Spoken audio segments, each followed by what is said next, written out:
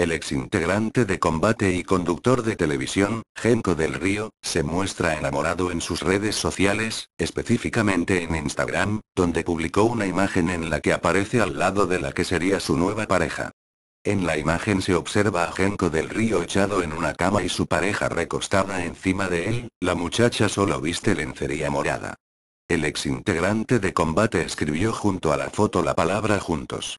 La publicación alcanza los 3.000 me gusta y los seguidores de Genco del Río lo felicitan porque consideran que ya era hora de que le dé vuelta a la página, en relación con su anterior pareja Paloma Figuza,